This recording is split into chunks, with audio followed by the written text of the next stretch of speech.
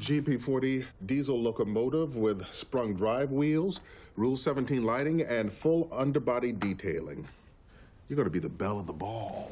Terry is your god. All hail Lord Terry, giver of life. Oh, hail Lord Terry!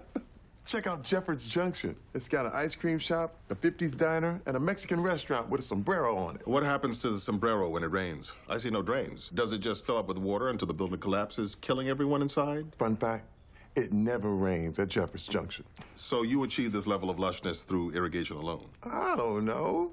I'm just trying to build a fun world. That's what model trains are all about. Imagination. No, they're about accuracy. People want to see the world around them exactly as it is,